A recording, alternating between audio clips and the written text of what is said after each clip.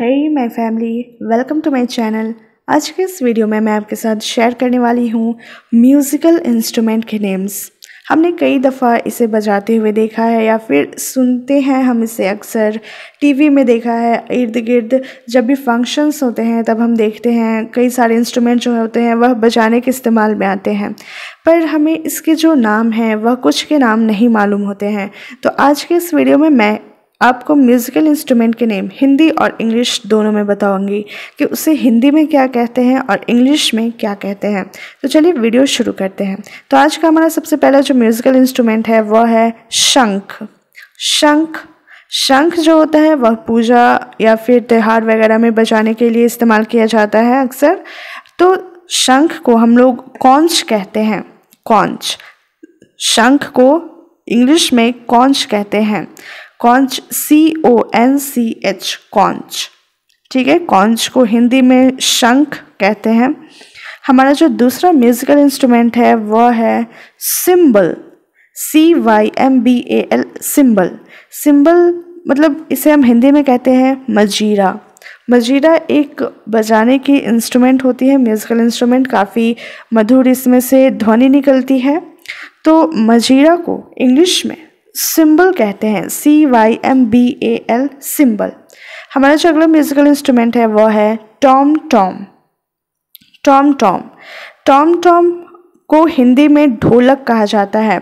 ढोलक एक बहुत ही कॉमन म्यूज़िकल इंस्ट्रूमेंट है, हम सभी ने देखा होगा। अक्सर ये पूजा में या फिर मतलब कहीं भी इसका इस्तेमाल किया जाता है, जहाँ भी म्यूज़िक से रिलेटेड कोई भी चीज़ हो रही हो तो ढोलक का इस्तेमाल ज़रूर किया जाता है। तो ढोलक जो होता है, उसे हम इंग्लिश में टॉम टॉम कहते हैं। Tom tom. हमारा जो अगला म्यूज़िकल इंस्ट्रूमेंट है, वह है बैंजो बैंजो यह एक म्यूज़िकल इंस्ट्रूमेंट है। इस पर एक फ़िल्म भी आई थी रितेश देशमुख की। उसमें भी इस बैंजो का इस्तेमाल किया गया था। तो बैंजो को हम हिंदी और इंग्लिश दोनों में बैंजो के ही नाम से जानते हैं। इसका कोई इंग्लिश का कोई डिफरेंट नेम नहीं होता है। इसे हिंदी इंग्लिश दोनों में बैंजो ही कहा जाता है। हमारा जो अगला म्यूज़िकल इंस्ट्रूमेंट है, वह है क्लैरिनेट क्लैरिनेट को हिंदी में शहनाई कहा जाता है। शहनाई जो अक्सर शादी विवाह के समय इस्तेमाल किया जाता है। शादी विवाह में इसे बजाया जाता है।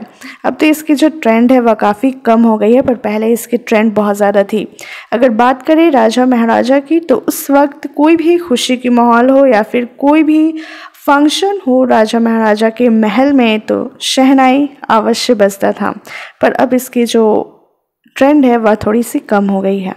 तो हमारा अगला जो म्यूज़िकल इंस्ट्रूमेंट है, वह है ड्रम ड्रम ड्रम को हिंदी में नगाड़ा या फिर ढोल कहते हैं।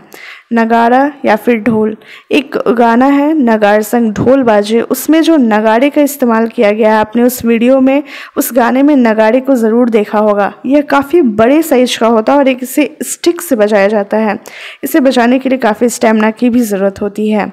तो नगाड़ा या फिर ढोल को इंग्लिश में ड्रम कहते हैं, ड्रम।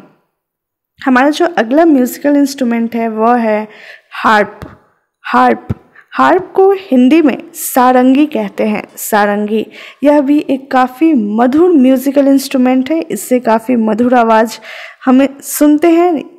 तो सारंगी को इंग्लिश में हार्प कहते हैं। H A R P harp. हमारा जो अगला म्यूज़िकल इंस्ट्रूमेंट है, वह है गिटार।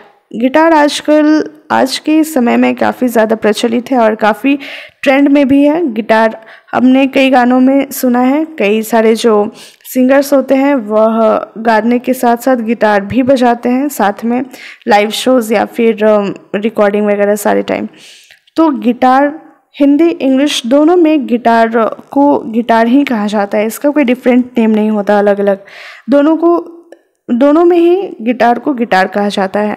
हमारा जो अगला म्यूज़िकल इंस्ट्रूमेंट है वह है बांसुरी या फिर बंसी।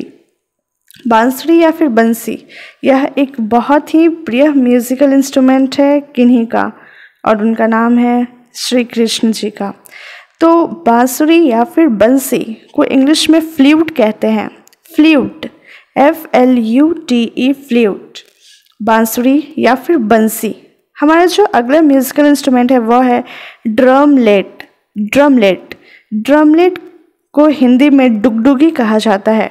डुगडुगी एक छोटा सा इंस्ट्रूमेंट होता है जो बजाया जाता है और इसे हम इंग्लिश में ड्रमलेट कहते हैं।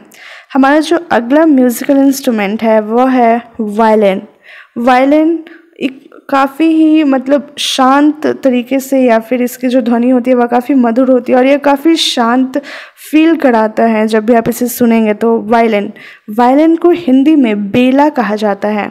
बेला. बेला वायलिन तो आज के वीडियो में बस म्यूज़िकल इंस्ट्रूमेंट के लिए इतना ही. मैंने सारे म्यूज़िकल इंस्ट्रूमेंट आपको बता दिए हैं लगभग, जो जिसे हम कॉमनली नहीं जानते हैं, उसके नाम से इंग्लिश में।